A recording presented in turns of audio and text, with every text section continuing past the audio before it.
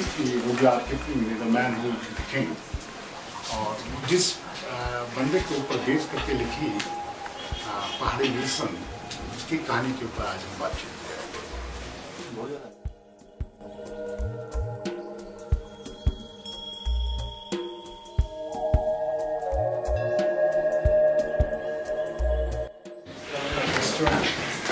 The rhododendron shoot. Oh my god.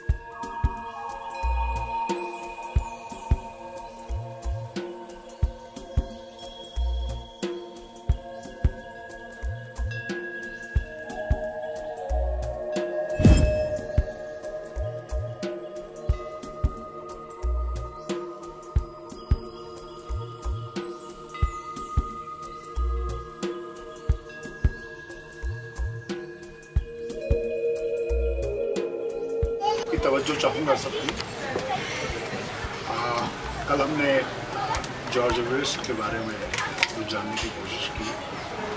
George Everest Mussoorie के मशहूर लोगों में से एक।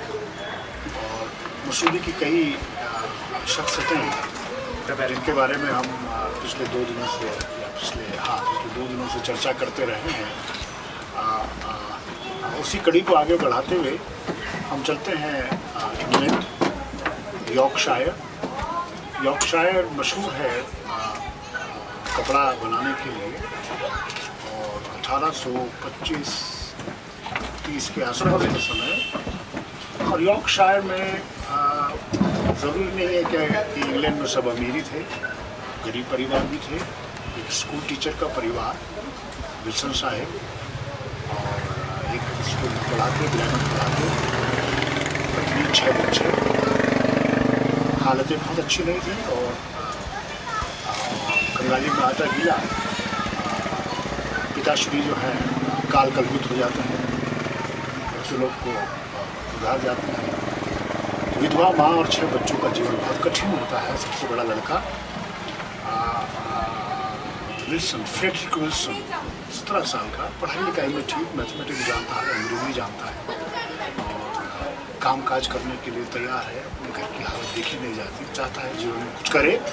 और फिर एकदम उसके मन में आता है कि now I must leave my I must go to earn some money और इन दोनों ऐसे नौजवान लड़कों के पास हिंदुस्तान और जो डोमिनियन इलाके थे, जहाँ पर कभी सूरज छुपता नहीं था।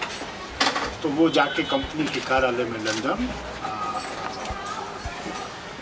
ज्वाइन कर लेता है ब्रिटिश इंडिया और ईस्ट इंडिया कंपनी के आर्मी ज्वाइन कर लेता है। And he get some money for that और आके अपनी माँ को देता है कि, माँ, मैं अगले छः महीने में हिंदुस्तान जा रहा हूँ। माँ बहुत दुखी है क्योंकि मालूम है कि अब जा रहा है तो शायद क्योंकि जो जाता था वो वापस कम ही आते थे, या तो खबर आती थी या फिर बच्चे आते थे जो वो हिंदुस्तान में पैदा करते थे हाँ। जो बच्चे वो हिंदुस्तान में पैदा करते थे तो ये बहुत लंबी कहानी भी हो जाएगी, लेकिन to cut story short you वो लड़का कोलकाता के हार्बर पे उतरता है और आँखों में सपना लिए, अपने जीवन को हिंदुस्तान में जीने का सपना लिए और रिपोर्ट करता है आर्मी हेडक्वार्टर्स में और उसको उसका बॉस सार्जेंट मेजर सीधे सीधे मेरठ के लिए रवाना कर देता है।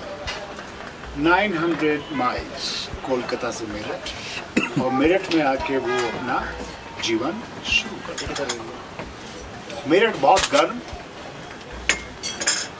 मेरठ बीमारियाँ।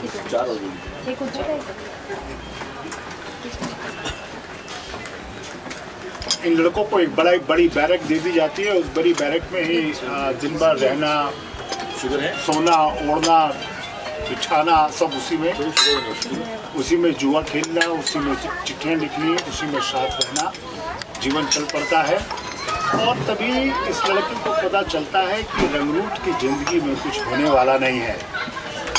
तो वहीं पर एक नेटिव इन्फेंट्री ब्रिगेड तैयार की जा रही है।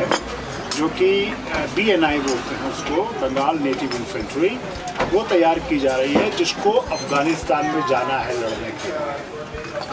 अफ़गानिस्तान में ब्रिटिश सरकार को ये खतरा हो गया कि रशियंस जो हैं, वो नॉर्थ वेस्ट से आ रहे हैं और वो अफ़गानिस्तान को जीतते हुए जो ब्रिटिश डोमिनियंस के इलाके हैं, हिंदुस्तान में घुस आएँगे और यहाँ पर खतरा तो ब्रिटिश ये सोचते हैं कि अफ़गानिस्तान को सिक्योर कर लिया जाए। उसके लिए ये तैयारी चल रही है और ये लड़का ट्रांसफ़र हो जाता है, अपने आप को ट्रांसफ़र कर लेता है बीएनआई में और बीएनआई में ये रंगरूप से डेफिनेट हो जाता है। कॉल दे लिटिनेंट ठीक है? ये लड़का कमाल का है। कमाल इन अ सेंस अचूक निशानेबाज। इसकी वजह से इसके ऑफिसर्स की केतली में हमेशा कुछ ना कुछ पकता है। कभी गूस कभी कोई छोटा मैमल चिड़िए लगातार तीतर बटेर जो मिले। ही श्योर शॉट खैर, चलती है बी एन आई अफ़गानिस्तान युद्ध की तैयारियाँ शुरू हो जाती हैं। काफिला चल पड़ता है। राजा रंजीत सिंह रास्ता देने से मना कर देते हैं। तो ये लोग बाइफर्केट करके फिरोजपुर से होते हुए आ, निकलते हैं पेशावर पहुँचते हैं और वो लड़ाई बहुत बड़ी कहानी है। इट वॉज़ अ कैटोस्ट्रॉफी आप एक किताब विलियम डालरिपल की अफगान वॉर के बारे के ऊपर वो पढ़िएगा। उसमें उस पूरी कहानी का जिस्ट आपको मिल जाएगा। तो वो तमाम रगड़े झेलते हुए और दस प्रतिशत लोग भी ब्रिटिश आर्मी के बीएनआई के बंगाल नेटिव इन्फेंट्री के उस वक्त क्या होता था कि अगर 6000 इन्फेंट्री के आर्मी मैन है तो उसके साथ 12000 कैंप फॉलोवर्स होते थे। कैंप फॉलोवर्स कौन होते थे कोई बताएगा ना? पीछे प्रिपरेशन करते थे। हाँ खाना बनाने वाले कपड़े धोने वाले सामान धोने वाले दुनिया भर के। है ना जैसे केदारनाथ में लोग चप्पल पहन के पहुँच गए और बच्चों के साथ पहुँच गए और जब जब विपदा आई तो पता ही नहीं चला कहाँ जाना है। है ना जो गाँव से नहीं निकला वो केदारनाथ पहुँच गया। कोई एक्लमेटाइजेशन नहीं कुछ नहीं। तो मारा जाना तो निश्चित होगा। तो दस प्रतिशत लोग बचते हैं उसमें से बचता है ये नौजवान। तो मैंने कहा, अपनी ज़िंदगी मैं तो यहाँ कुछ कमाने आया मैं कुछ बनने आया था, यहाँ तो ये तो लोग मुझे हमें हमें मौत के मुँह में धकेल रहे हैं।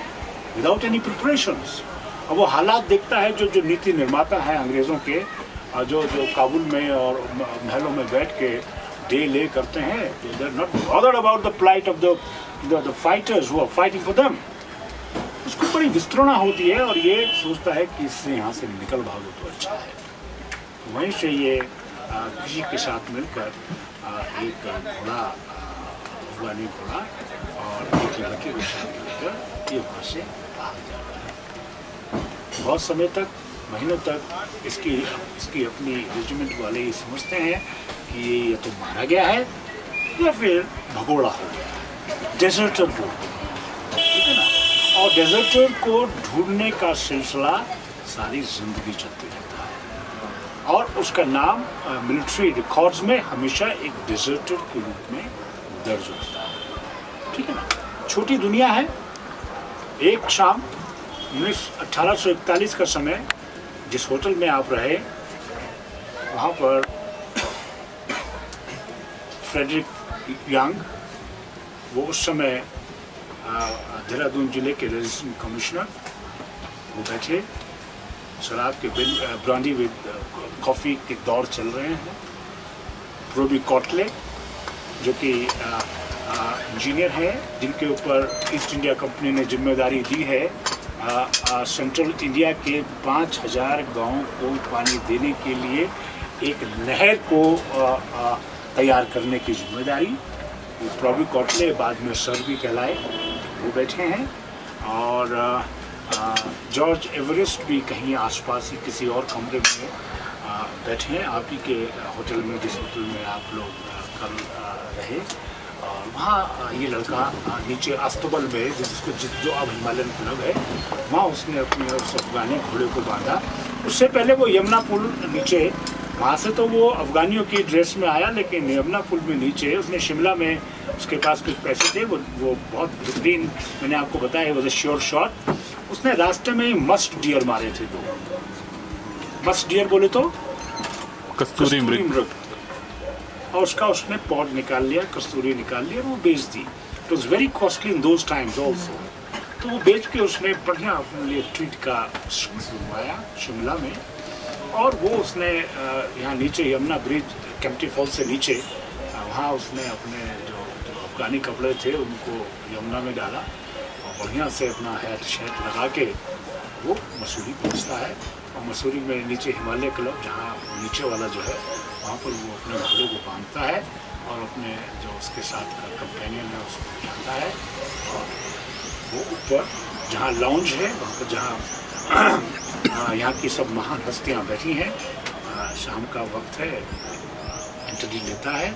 सबकी निगाहें होती हैं कि ये चौबीस साल का लड़का स्मार्ट अपना परिचय देता है कि Frederick Wilson, and I am the nephew of uh, Bishop Wilson of Kolkata. वो अपनी पहचान छुपाने की कोशिश करता है अब सभी लोग आ, आ, सभी आर्मी वाले हैं और सभी के दिमाग में कुछ ना कुछ घूमते रहता है उसने कहा कि कैप्टन यंग सोचते हैं कि भाई विल्सन जो बिशप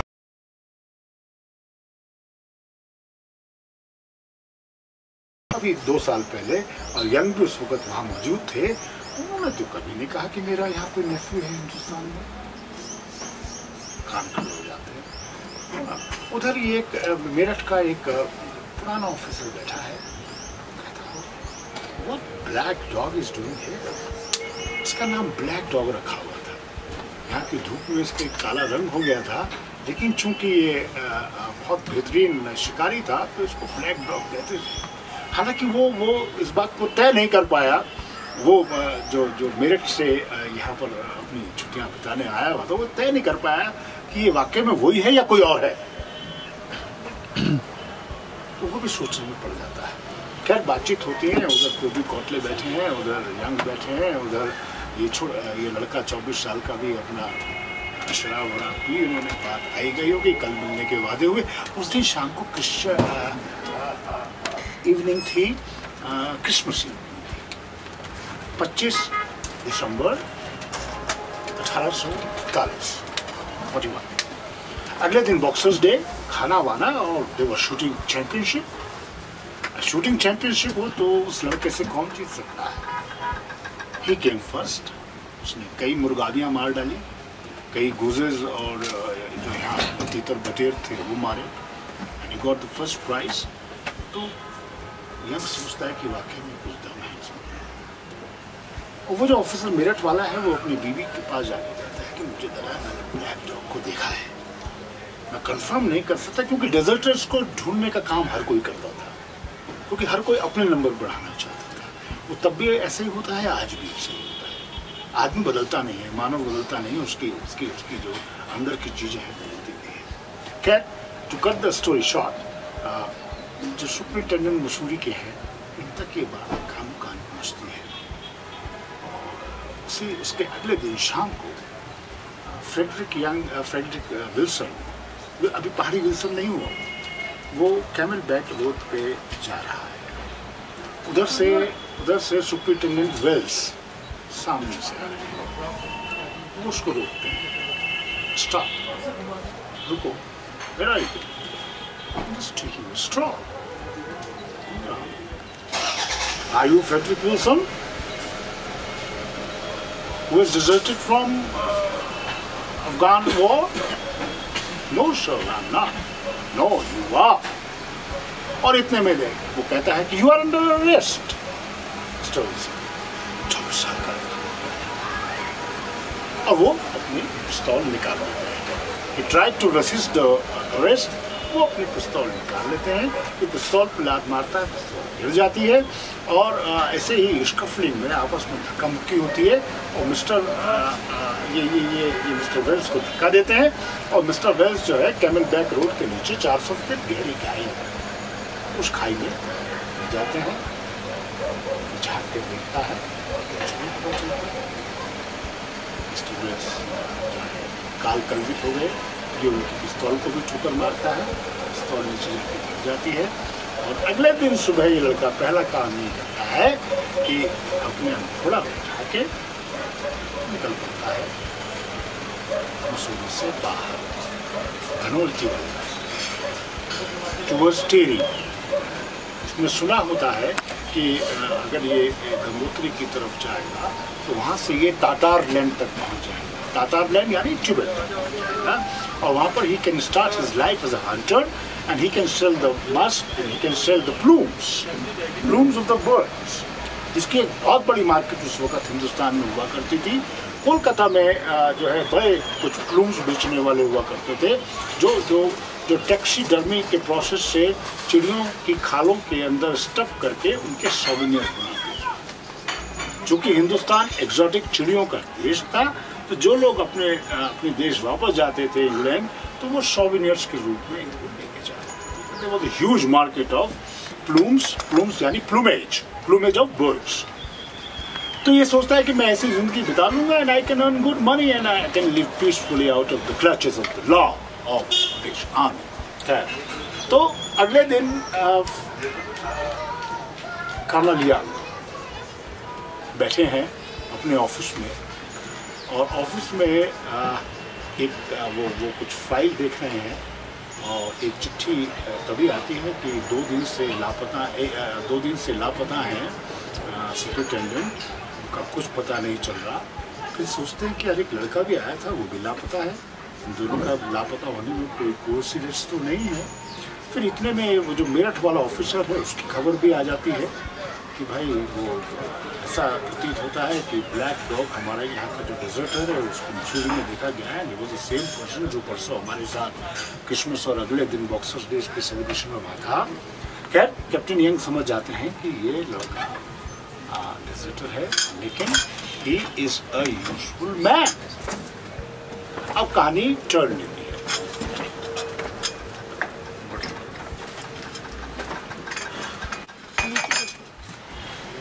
फ्रेडरिक यंग इस लड़के का पीछा शुरू करते हैं। He knew the turn well ये लड़का नया है और यंग, पुराने यहाँ के खिलाड़ी। उनको हर छोटे बड़े रास्ते मालूम। इन्होंने मसूरी बसाई।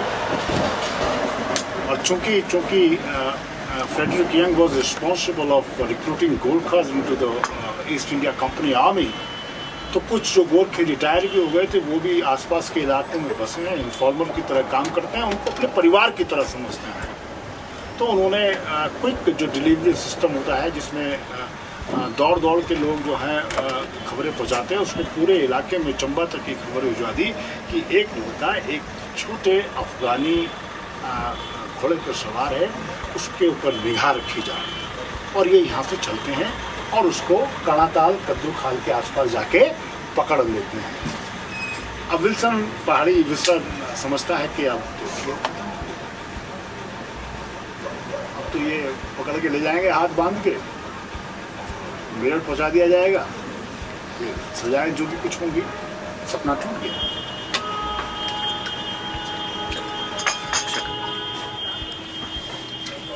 लेकिन यंग के दिमाग में तो कुछ और ही चल रहा है। यंग के दिमाग में कुछ और कहानी ना मैंने। ये ले स्पून ले। Young had different ideas. Young actually was running a big group of informers and newsletters.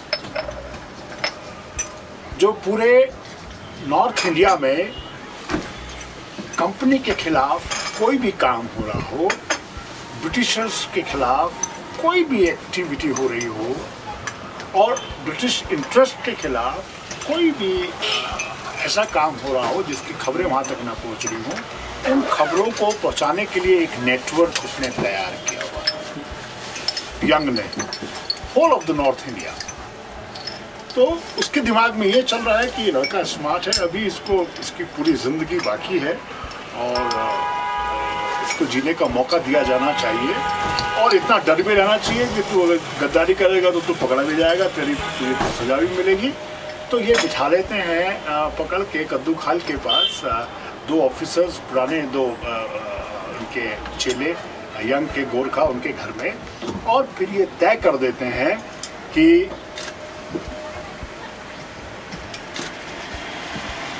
Frederick Wilson आने वाले वक्तों में ब्रिटिश डोमिनियंस में नहीं आएगा। लेकिन जो ब्रिटिश जुरिस्डिक्शन के बाहर राजा की बाउंड्री है टीरी राजा की बाउंड्री है, उसमें रहेगा और कोई भी ऐसी एक्टिविटी होगी जो ब्रिटिश इंटरेस्ट के खिलाफ है, उसकी इंफॉर्मेशन वो यंग तक पहुंचाएगा। ये तय हुआ और वो उसको छोड़ देता है। और उसको कहता है कि टेरी में I have a contact you go to him he'll open your account, and you start working as a hunter. He'll be more than happy to take you there.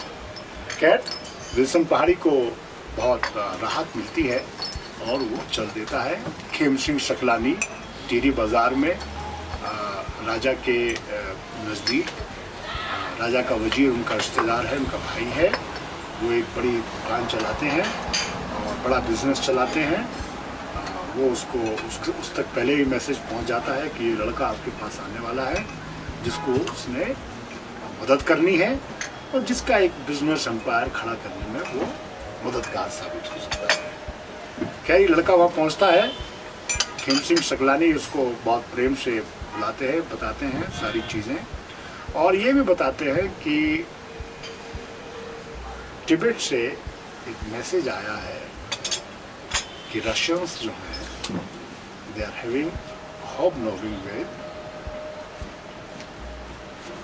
Raja Ranjit Singh की सबसे छोटी पत्नी, रानी ज़िंदा, उनका भाई जवाहर के साथ बातचीत कर रहे हैं कि वो पंजाब के रास्ते लाहौल स्पीति होते हुए पंजाब के साथ मिलके इस देश पे कब्जा करें। और ब्रिटिश को हटा दें। ये मैसेज आया है। और कुछ दिनों में रानी ज़िंदा जो हैं, वो आने वाले वक्तों में लहासा में जाएँगी मिंट्रोलिंग मोनेस्ट्री में जाएँगी and she will meet the representative of tsar there अब देखिए उस जमाने में हम आज की बात करते हैं, जार जो है, जार का रिप्रेजेंटेटिव पाँच हज़ार किलोमीटर घोड़े पे चल के लासा के पास मिंड्रोलिंग की मोनेस्ट्री में आ रहा है। वो अकेला नहीं है। उसके साथ उसके फ्रेंच कॉनूशियर्स उसके फ्रेंच कोक ये सब पूरा रेटिन्यू जो है वो चल रहा है। ऐसा नहीं है, जब विल होती है, जब जब करना होता है तो उतने ही बड़े पैमाने पे काम उस जमाने में भी किए जाते थे है ना, हम आज सोचते हैं कि हम ये सब कर लेते हैं। लेकिन ऐसा नहीं है उस ज़माने में भी इतने बड़े लेवल पे चीज़ें की जाती थी। खैर ये, ये, ये इसको हम बाद में थोड़ा सा लेंगे। आ, को कोई कोई आप लोग बोर तो नहीं हो रहे हैं? Very interesting. Are you sure हाँ? I can cut it short you know और वो एक फ्लो है वो उतने में ही उससे कम भी कितना आप कट एंड पेस्ट करेंगे। है ना?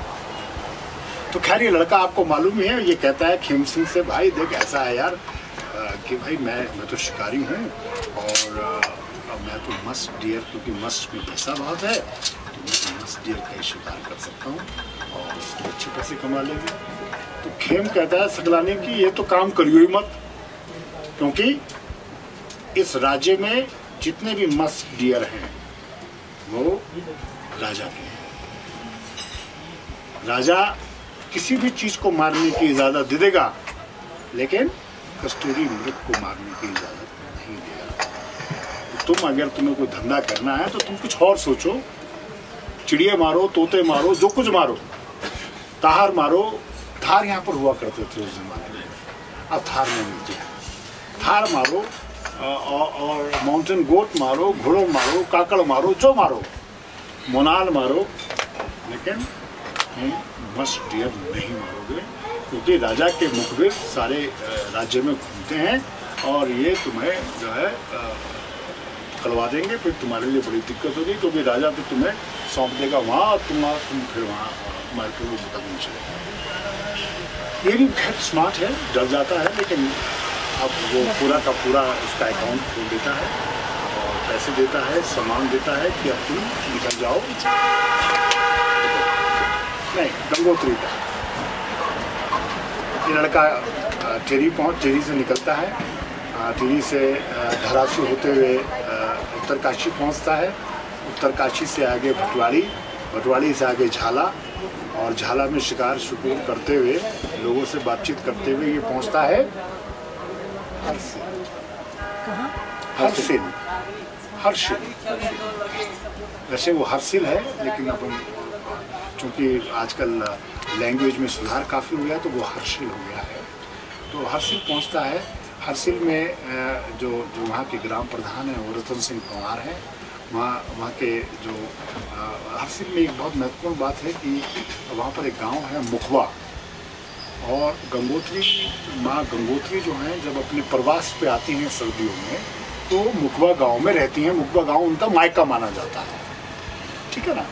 अब रतन पवार जो है, वो वहाँ का पंचायत का प्रधान हुआ और वहाँ एक शेमवाल पंडित जी हैं, मुखवा गाँव में ही रहते हैं। उन तक ये बात पहुँचती है कि ये गोरा फिरंगी आया है और ये कहता है कि मैं शिकारी हूँ, शिकार करने का काम करना चाहता हूँ। आप लोगों के बीच में रहना चाहता हूँ।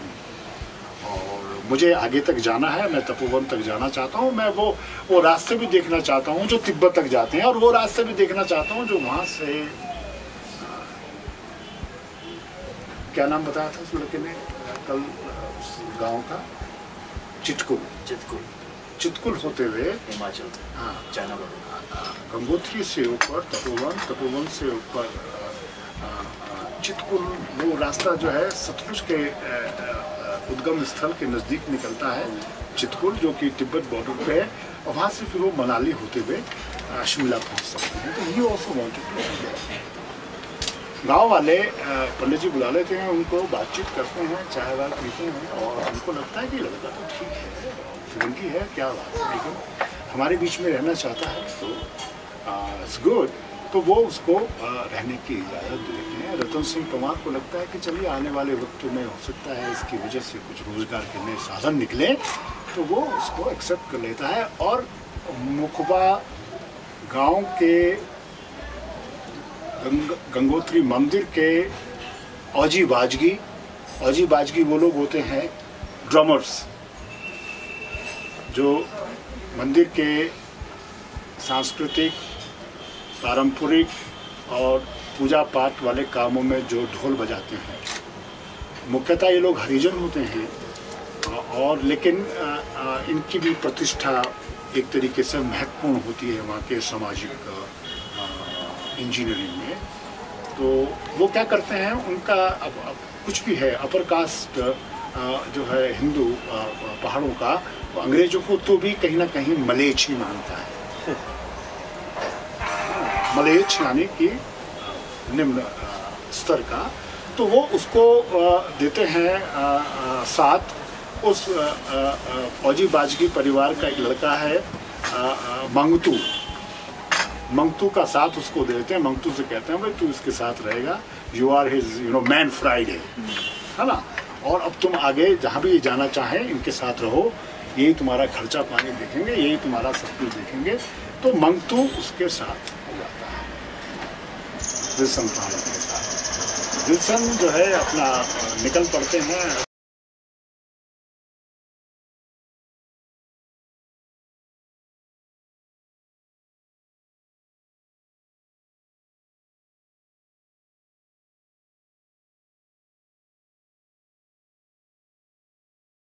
foreigners with different language those who are speaking different language और वो जिस जिस रास्ते से गुजर रहे हैं, लोगों को धमका रहे हैं खाने पीने का सामान मांग रहे हैं, पैसे उनके पास है नहीं, लड़ रहे हैं, झगड़ रहे हैं, लूट रहे हैं और वो वो तीन तीन, चार दिन आगे हैं इनसे, चलने में।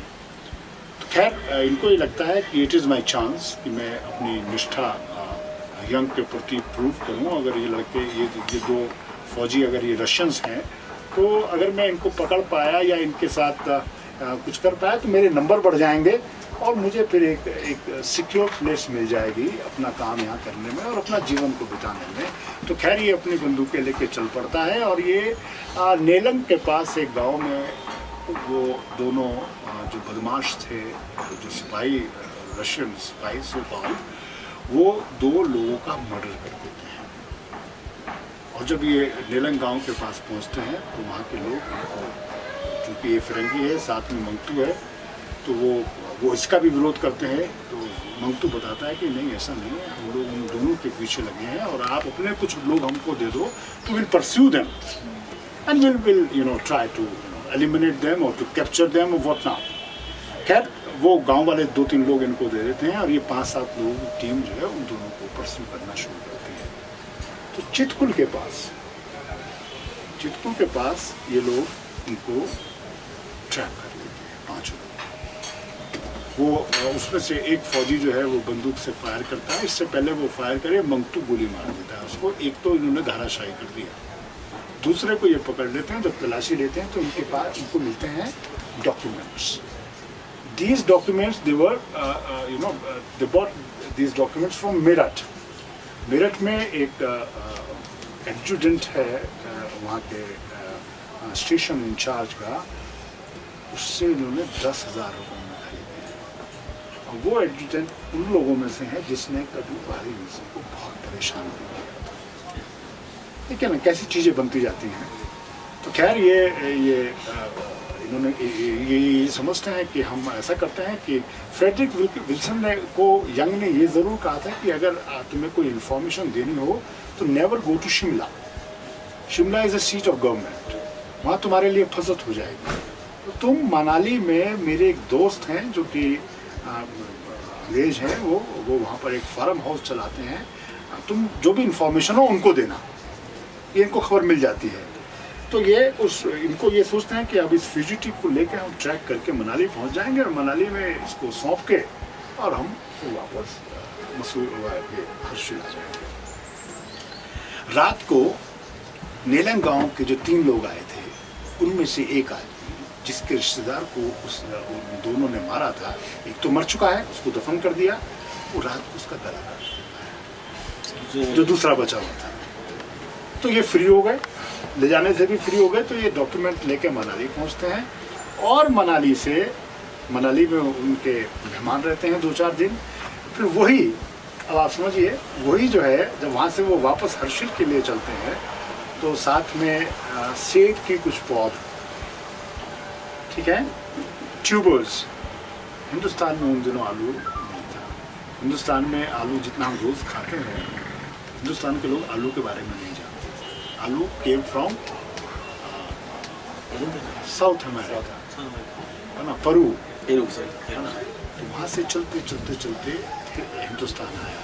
आलू के बारे में एक बहुत महत्वपूर्ण बात बताता हूँ कि जिस दिन से आलू हिंदुस्तान में आया हिंदुस्तान में अकाल की समस्या खत्म दुनिया को अकाल से मुक्त कराने में आलू का बहुत बड़ा योगदान रहा है। आलू किसी भी परिस्थिति में पैदा हो जाता है और आपके पास कुछ नहीं हो, आलू की शेल्फ लाइफ होने की वजह से आलू पे बहुत लोग, बहुत लंबे समय तक गुजारा कर सकते हैं। जिन जिन देशों में आलू गया, उन उन देशों से अकाल की समस्या दूर हो गई।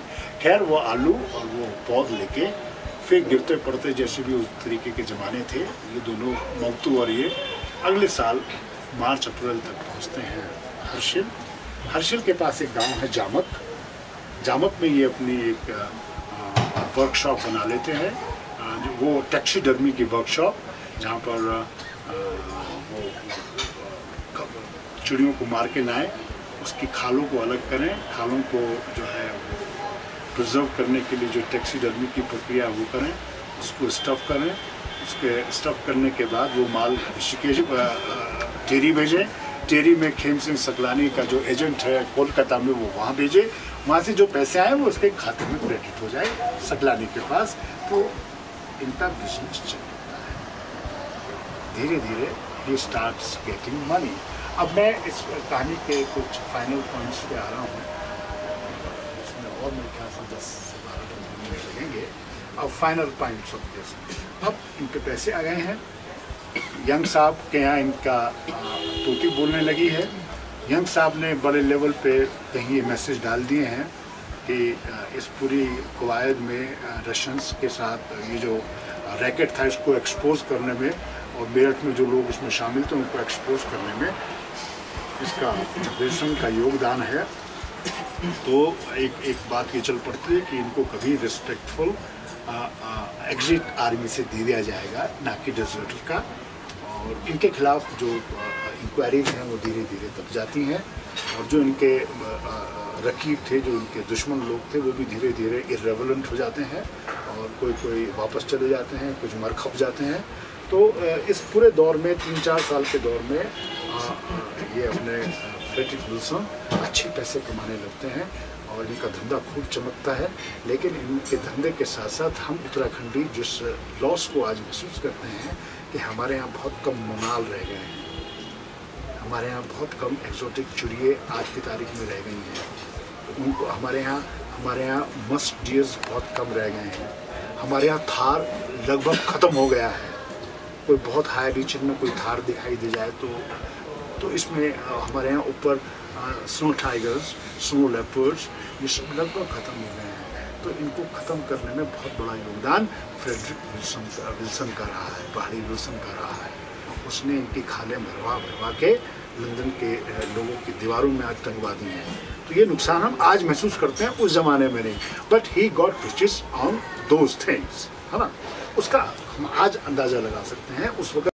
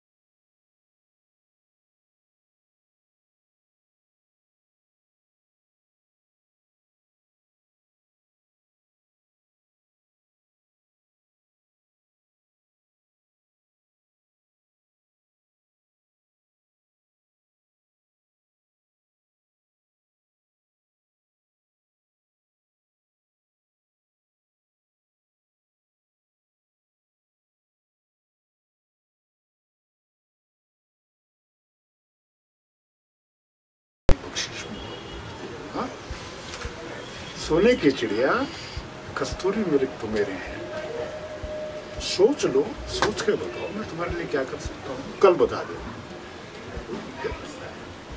विल्सन का बेचारे का मूल बन जाता है कि पैसे भी गए। कुछ मिला भी नहीं। लकड़ी की लकड़ी का धंधा किया जा सकता है। तो वो उनके वज़ीर को बोलता है। उस जमाने में वज़ीर भी ऐसे ही थे, उनको भी दो मोहर दो तो वो भी जो आपकी भाषा थी, वो बोलने लग जाते थे। जिस टाइम कहो राजा से मिलवाए थे। राजा तो भूखा था ही, वो तो जब चाहो कुछ तुम लेके जाओ तो तुम मिल जाएगा राजा के तो ये हाल थे। सुदर्शन शाह थे। सुदर्शन शाह कई साल बड़ी मुफलिसी में गुजारे। गोरखा युद्ध के टाइम पर उससे पहले नौ साल उन्होंने भटक भटक के गुजारे। बड़ी मुश्किल से राजपाट मिला था। खैर तो अगले दिन जब वो जाते हैं तो वो राजा से बहुत इनसिग्निफिकेंट सी दिखने वाली। ऊपर अपर टगनोर में पाँच साल की पेड़ों के कटान की परमिशन उनको एक सौ पचास रुपया सालाना के किराए पर। एक सौ पचास रुपया सालाना देते रहो, जितने चाहे पेड़ काट लो।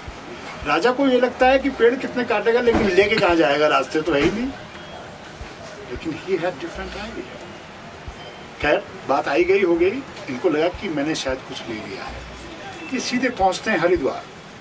और हरिद्वार पहुँचने से पहले, हरिद्वार पहुँचने से पहले ये खेम सिंह को कहते हैं सकलानी को, कि यू गो टू सहारनपुर और वहाँ पर एक फर्म रजिस्टर करवाओ। हरिद्वार सौ मिल कंपनी। सौ मिल माने आरा मशीन। तो ये हरिद्वार पहुँचते हैं वहाँ इनकी मुलाकात होती है अपने पुराने दोस्त रवि कौटले से जो कि इनको 25 दिसंबर की रात को मसूरी में उस होटल में मिले थे जहाँ अपराध थे ठीक है ना? तो वहाँ प्रोबी कॉटले इनका वो मिलते हैं तो वाह भाई वाह क्या बात है। प्रोबी कॉटले के बारे में आ, आ, आपको एक जानकारी और मैं देना चाहूँगा विच इज़ वेरी इंपॉर्टेंट आपके लिए वो एक सिविल इंजीनियर थे जिसकी वजह से रुड़की में वो आईआईटी या वो इंजीनियरिंग कॉलेज खुला। लेकिन उस आदमी की एक और बहुत बड़ी क्वालिटी थी कि वो फॉसिल वाला था। फॉसिल वाला बोले तो ही वॉज़ अ पैलेंटियोलॉजिस्ट वो फॉसिल्स की खोज करता था और उसने शिवालिक में इस मेन लैंड का, हिंदुस्तान का, होमो रामा, जिसे हम कहते हैं, उसका फॉसिल किया था सबसे पहला। वो फॉसिल आज भी ले में है? ले गए हाँ उसका यहाँ तो कोई रखने की जगह नहीं थी। तो वो वो लंदन म्यूज़ियम में है उसको होमो रामा बोलते हैं रामा मैन। है ना? जैसे अलग अलग किस्म के वो हैं रामा मैन। और उसने खोजा क्या? उसने खोजा दस फुट लंबे दांतों वाला एलिफेंट का फॉसिल यहाँ पर मेमथ साइज़ के एलिफेंट हुआ करते थे यहाँ पर शेबर टूथ टाइगर हुआ करते थे, उसके फॉसिल से खोजे तो प्री हिस्टोरिक टाइम में ये जगह वाकई ही it was a delight for the palaeontologist तो वो पेलेंटोलॉजिस्ट भी थे प्रोबी कॉटले ये याद रखना, ठीक है ना? अब प्रोबी कॉटले से जब इनकी मुलाकात उसके टेंट में होती है तो दोनों आपस में बातचीत करते रहते हैं प्रोबी कहता है, यार, मेरी बड़ी दिक्कत हो गई भाई। भाई क्या दिक्कत हो गई? उन्होंने कहा यार इन पंड, इन, इन पंडितों ने मेरी नाक में दम कर रखा है। कह रहा आप आप गंगा की धारा को रोकने की कोशिश कर रहे हो। मैं कह रहा हूँ इससे कि पाँच हज़ार गाँव के लोगों को फ़ायदा होगा इससे उनकी सर जमी उनकी हरियाली को फ़ायदा होगा उनकी उनकी खेती बाड़ी बढ़ेगी। पर ये मानते ही नहीं। ये कहते हैं कि जी गंगा की अविरल धारा रुक गई तो न जाने क्या जो है वज्रपात हो जाएगा और सब बिगड़ जाएगा। ये मुझे काम नहीं करने दे रहे हैं। दिलसन चूँकि ये पहाड़ में रह रहे थे और इस देश के लोगों के साथ काफ़ी उनका तालमेल हो गया था, वो जानते थे कि इस देश के लोगों की नब्ज क्या है। तो कहता है कि इन पंडों को बुलाओ कल और इनसे कहो, भाई, तुम्हारे यार घाटों की हालात बहुत ख़राब है। मैं तुम्हारे घाट सब बढ़िया बनवा देता हूँ। कह रहा देखना, ये इसी में खुश हो जाएँगे। तो अगले दिन वो प्रोबी कोटले जो है पंडितों को बुला लेता है। हरिद्वार के जो पंडे हैं और उनको कहता है, भाई, आपके हम जितने भी बाथिंग गार्ड्स हैं, जिसे हम हर की पौड़ी कहते हैं, ये सब पक्के बना देते हैं। तो लिहाजा तुम ये काम करने भाई ये काम तुम्हारे देश के लोगों का एक तो है, इनका ही तो भला होगा। पाँच हज़ार गाँव का फ़ायदा होगा इस नहर से। पंडे मान जाते हैं। तो बड़ा खुश होता है कि इज़ मैन ऑफ़ विजडम तो कहता है यार कि भाई, मुझे अब ईंटें है मोटार है, उसको पकाने के लिए और स्लीपर्स हैं मुझे 10 फीट- 10 किलोमीटर की रेल रोड लानी है ताकि सामान को और हेवी मटेरियल को लाया लाया लाया जा सके, ले जाया जा सके। मुझे भट्टी चलाने के लिए सैकड़ों, हज़ारों टन लकड़ी की ज़रूरत है। तो ये सब चीज़ें हैं भाई, ये कैसे हो पाएगा? उन्होंने कहा चिंता न करो। मैं यहीं सौ मिल लगवा रहा हूँ। मैं यहीं सौ मिल लगवा रहा हूँ। और तुम्हें स्लीपर्स और लकड़ी मैं यहीं दूँगा। आप रिक्विजिशन बना दो। अगले दिन सुबह ही फ्लोबी कॉटले एक एक, एक रिक्विजिशन जो है उनको बना देते हैं कि इतनी लकड़ी की रिक्वायरमेंट है। और साथ ही साथ दस हज़ार रुपये का एक ड्राफ्ट उनके हाथ में देते हैं। और वहीं से पहाड़ी विल्सन के रिचिस की कहानी दस हज़ार का ड्राफ्ट ले जाके खेम को देते हैं, खेम सकलानी को। खेम सकलानी भी दस हज़ार का ड्राफ्ट देख के भी अंदाज़ा नहीं लगा पाता कि ये आने वाले वक्तों में कितना बड़ा और उसके बाद से 20 साल तक हिंदुस्तान की आधी जो रेलवे लाइन है, उस जमाने की, इलाहाबाद से आगे तक, उसके सारे स्लीपर देवदार के जंगलों के हाँ। और इस आ, आ, इस पूरी साढ़े चार सौ किलोमीटर की जो गंगा कैनाल है इसकी साढ़े चार सौ किलोमीटर की मेन लाइन और साढ़े तीन सौ किलोमीटर की ब्रांच लाइन इसमें जितनी भी लकड़ी इस्तेमाल हुई है वो सब पहाड़ी की सप्लाई की गई है। पहाड़ी उसकी लड़की उसकी लड़की क्या कहते हैं जो अपना उसका मैन फ्राइडे है ममतू ममतू की लड़की राय माता उससे शादी कर लेता है। ये शुरुआती दिनों की ही बात है। उससे शादी कर लेता है शी ब्यूटीफुल लेडी और शादी करने के बाद तीन चार साल तक वो बच्चे का जन्म नहीं दे पाती है और वो मिस कैरेजेस होते रहते हैं। तो उसके बाद फिर वो उसकी बहन गुलाबों से मंगतू की बहन गुलाबों से शादी करता है। उसके तीन बच्चे होते हैं, तीन लड़के नैन्थियाल हेनरी और एक और। तीनों फिर नहीं रहने लगते हैं। और इसी दौर में इतना इतना पैसा विल्सन कमा लेता है और और जो जो कनाडा में सिस्टम हुआ करता था कि लकड़ियों को काट के, स्लीपर बना के पानी में डाल दो और उसको जहाँ जहाँ तक वो, जहाँ जब वो प्लेन को टच करे तो वहाँ पर उसको सिक्योर कर दो। तो ये सिस्टम जो जो ट्रांसपोर्ट, लकड़ियों के ट्रांसपोर्ट का इसने ईजाद किया, ये इतना सक्सेसफुल हुआ कि सन 67 में, इसके पूरे सौ साल बाद, जब मैं पहली बार चार पाँच साल की उम्र में ऋषिकेश गया, तब तक लकड़ियों को ऐसे ही बहा के लाया जाता था पहाड़ से। और लकड़ियों के स्लीपर पे लोग बैठ के आते थे, जो वो इतने एक्सपर्ट होते थे कि वो स्लीपर्स के साथ साथ चलते थे। रास्ते में स्लीपर रोकना स्लीपर को एक लाइन में बिठा के रखना तो हमने अपने बचपन में उस उस चीज़ को देखा। तो उसके बाद जब जब पैसा आ जाता है, विल्सन पहाड़ी के पास, विल्सन पहाड़ी तो लगता है कि अब मेरा मसूरी जाने का समय then he comes back to Mussoorie और मसूरी में फिर वो अपने परिवार के साथ यहाँ पे रहने लगता है। जिस होटल में आप यहाँ अभी आज ब्रेकफास्ट किए हैं रॉक पे में रॉक पे के जो मालिक थे, वो कुछ पच्चीस हज़ार रुपया उन्होंने, पच्चीस हज़ार रुपये में पूरी दो एकड़ की प्रॉपर्टी गिरवी रखी थी विल्सन के पास।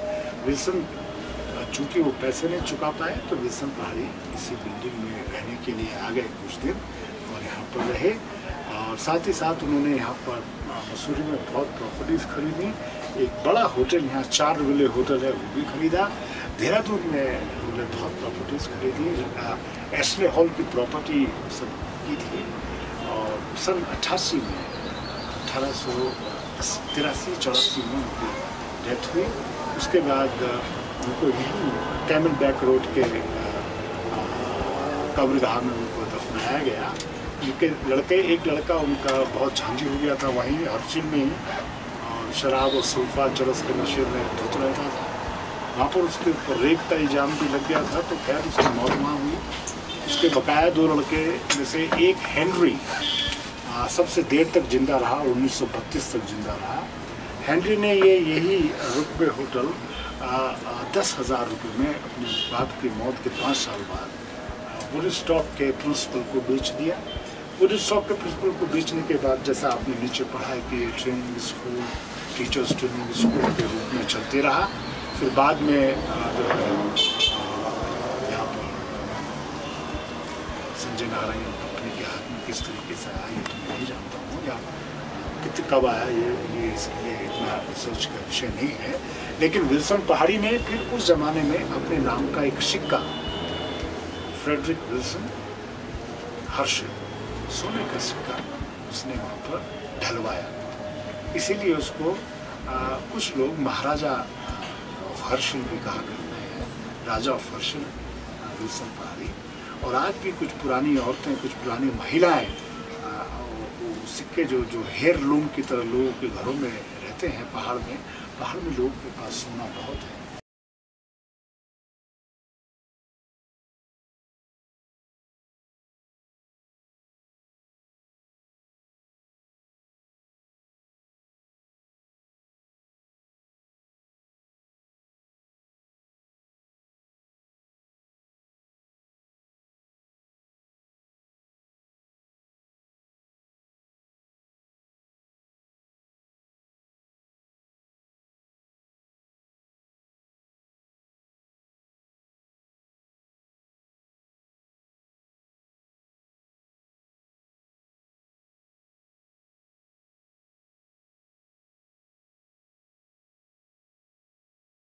कमा के, लेकिन पैसा चूँकि उन्होंने आगरा बैंक में लगाया था तो वो सब पैसा डूब गया। बाद में हालतें बहुत ख़राब होगी तो उनकी लड़की ने उनकी काफ़ी मदद की और उनके दोस्तों ने भी। क्योंकि फेडरिक यंग जो हैं, बहुत जाबाज आदमी थे और बहुत लोगों के जीवन में काम आए। इतने नामी थे कि उनके नाम से ही, उनके उनके अखलाक से ही बात होती थी तो वो भी अपने जीवन उन्होंने बाद का इंग्लैंड में ही गुजारा। जॉर्ज एवरिस्ट के बारे में मैंने आपको बताया है कि उन्होंने भी अपना जीवन बहुत सुकून से इंग्लैंड में गुजारा। तो ये चारों पाँचों महारत ही मसूरी से जुड़े हुए।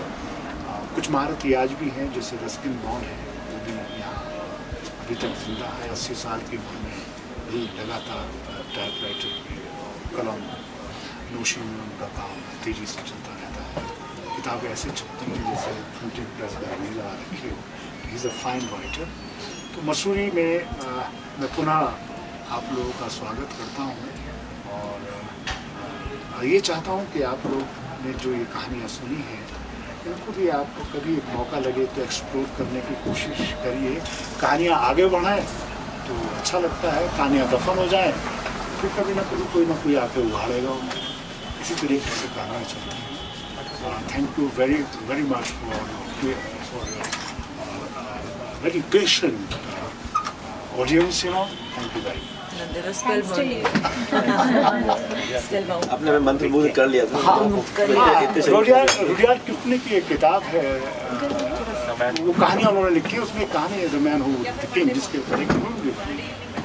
तो मतलब Rudyard Kipling the man who would be the king. तो वो कहते हैं कि वो, चूँकि रुडियार्ड किपलिंग जो है यूएसए से थे और इलाहाबाद का एक अखबार पायनियर है, उसमें वो नौकरी करने आए थे। तो नौकरी के दौरान ही उनको मसूरी आने का अवसर मिला उस दौर में और उन्होंने फिर कहानियाँ सुनी फ्रेडरिक विल्सन की तो कहते हैं कि उन्होंने यहीं पर ये कहानी लिखी थी जो बाद में पब्लिश हुई वो विल्सन पहाड़ी के जीवन के ऊपर है।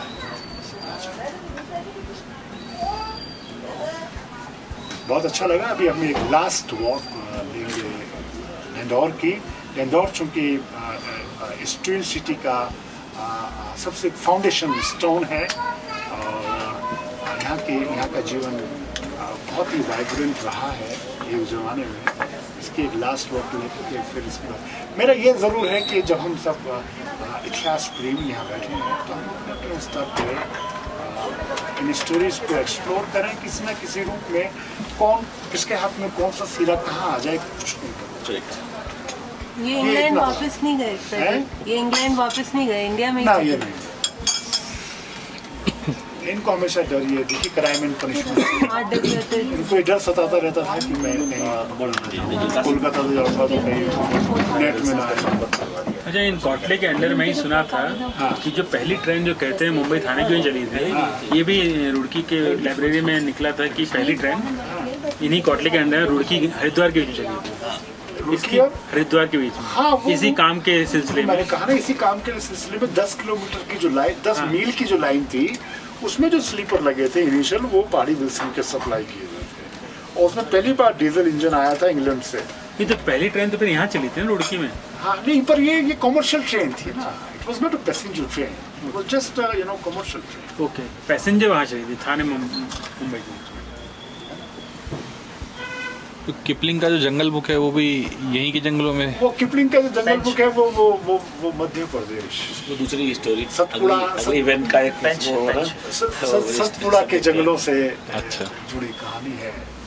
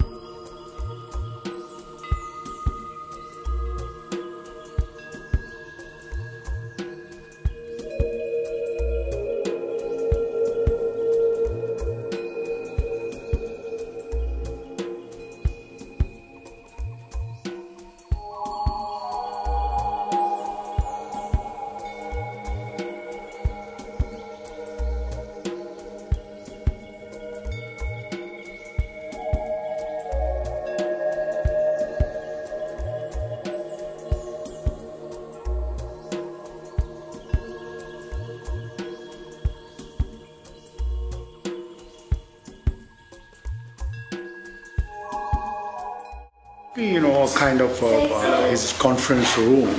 He was into big land deals. Okay, yeah, he used to stay here. Yeah. He was into big land deals here in Missouri.